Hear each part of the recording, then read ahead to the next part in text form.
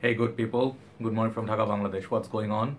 And uh, today I'm going to be doing a fragrance house that I don't think I ever talked about before. And these are extremely expensive, posh line of fragrance community, right? So this is Louis Vuitton, and I am not sure if I'm pronouncing that correct, but I am not very strong with my French pronunciation. So I'm really sorry. This is gonna be like a episode of very premium luxury products and I have like a lot of samples here.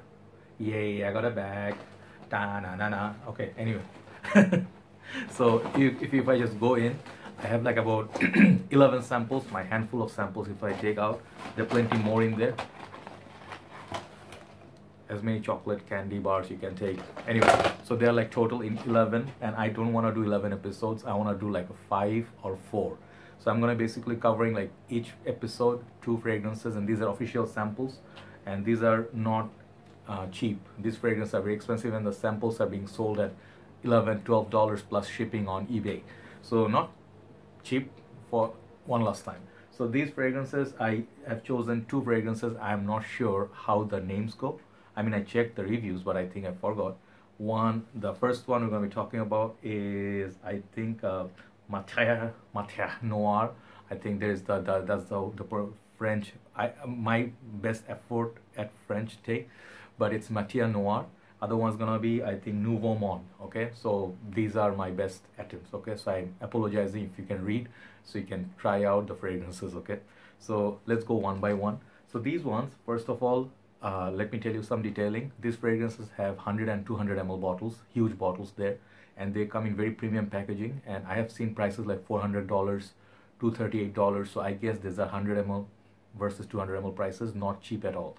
Uh, second thing is i think these are designer brands you guys know louis vuitton like they are well known for most premium handbags in the world. Like you talk about porsche you talk about lamborghini okay cars like premium cars that only riches can afford. This is a rich house for rich people. So each handbag is like i have heard they have go like crazy pricing guys you know like you can buy a car with that parts or something. So i'm not very specialized with handbags but i am gonna let you know their fragrances. And i'm gonna keep it strictly not awed by the brand or whatever. I'm gonna keep it strictly with the smell okay? And the thing they do give you very nice presentation. I don't have full presentation. You can see other reviews. They give you something like a dior's uh, uh, premium Privé collection kind of packaging. And then uh, it's inside a box. It takes like uh, like about long time to take it off. It's a little bit difficult. I saw a review. And also the bottles i think are sprayable. At first i thought they were splash but they have sprayable bottles. So 100 and 200, 200 ml bottles. And these fragrances i think can be bought at uh, louis vuitton uh, official like boutique or i think some personal sellers are selling but these are not widely available. So you have to really be careful where you buy your fragrances from. So let's go. I think uh, we're gonna go with um, Matière Noire um, this one.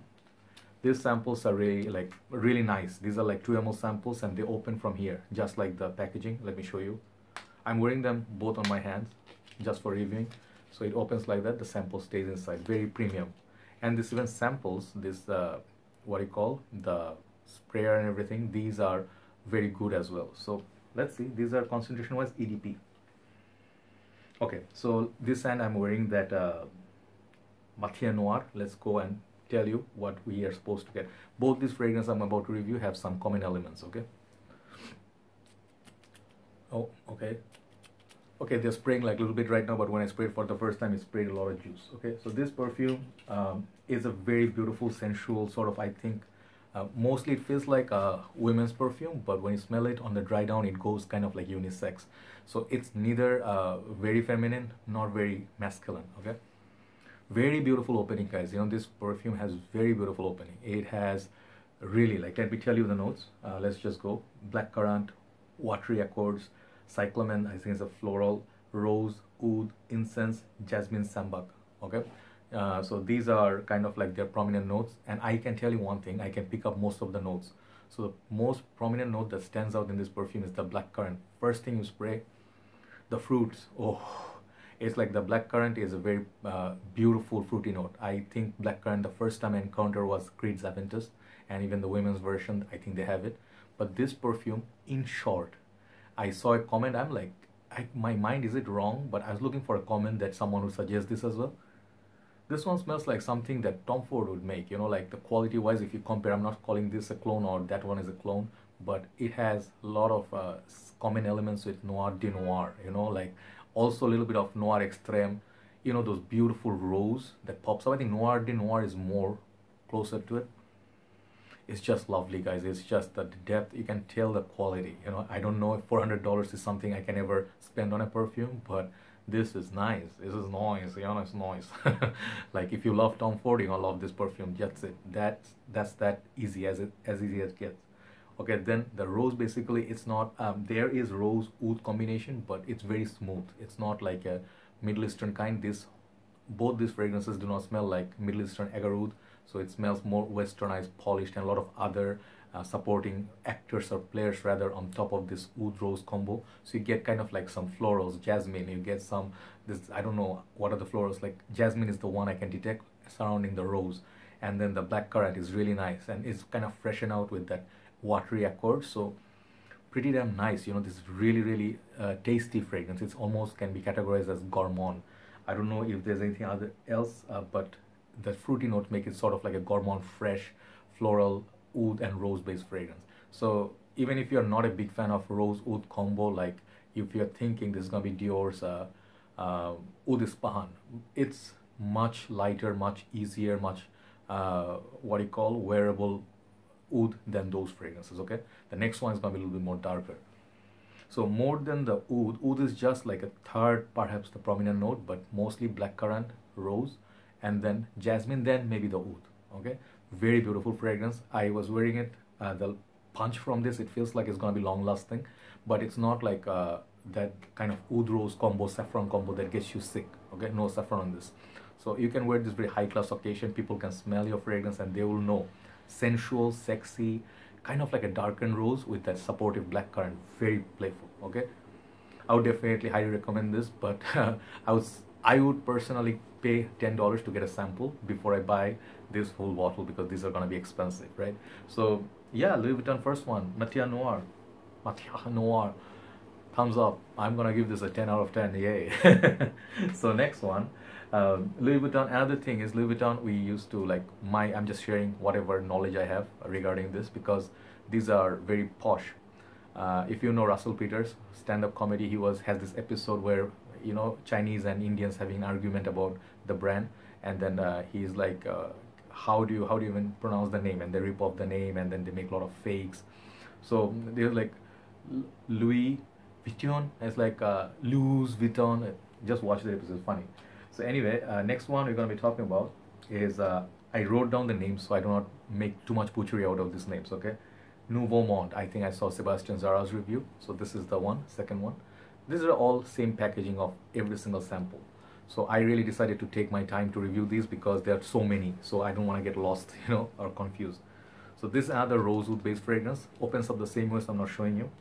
I'm gonna fresh spray this. I'll tell you about what it smells like. And here we go. I think this one is a better spray. Fingers crossed. No, that's rock. Fingers crossed. Okay. Yeah, you see, see, beautiful. I was telling you, this thing's very nice. So yeah, ooh, ooh when you spray it even for the small sample, you know, like this is another beautiful creation, okay? But I'll tell you before I start reviewing this, one thing is if you are new in fragrance game and you are just exploring freshies and more Dior Sauvage, I always give it like a, you know, like one standard, like, you know, you start with Dylan Blue, Sauvage, whatever your starting point is. Let's say you like more fresh and easygoing, safe perfumes these fragrances will not be for you on most part because these are expensive and these are very very accurate taste because oud rose is something i couldn't take for the first two years. I did not become a very good big fan of oud. I discovered oud somewhere late 2018 that's when i started loving oud.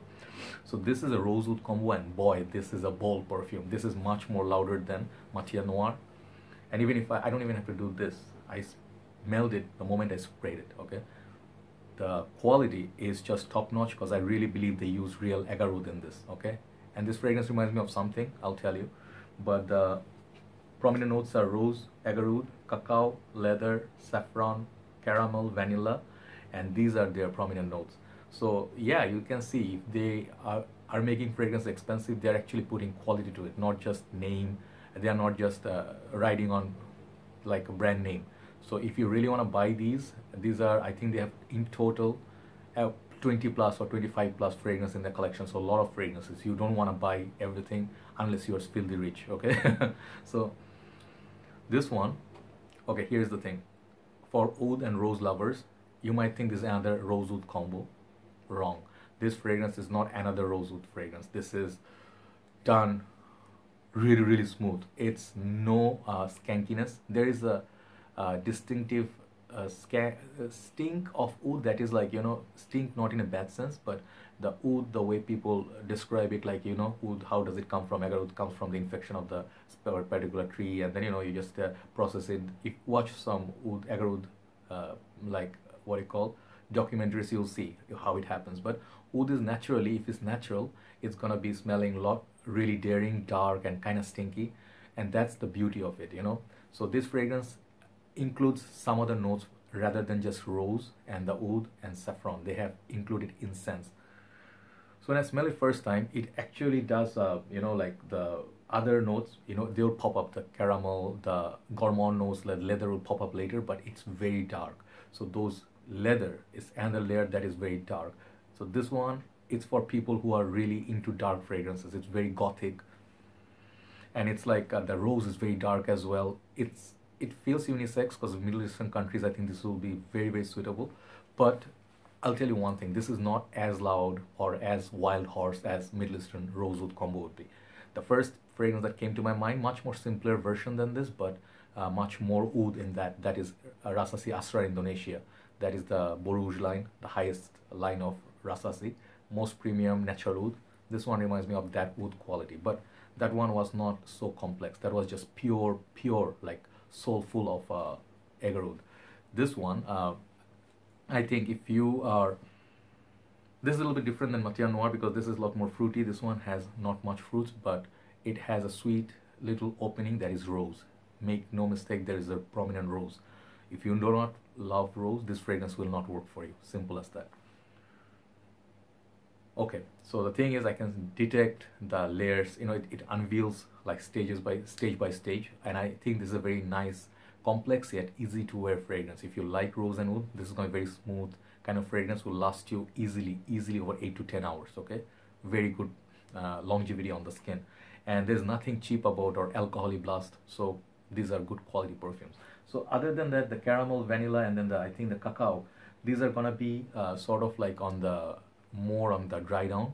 And if you do like uh, fragrances kind of like uh, dark and sweet and kind of like Dior Intense, Liege, this fragrance will be really good. But if you're not a big fan of rose oud saffron combo, this fragrance you may not like. Okay, just sample. Just get a sample like these.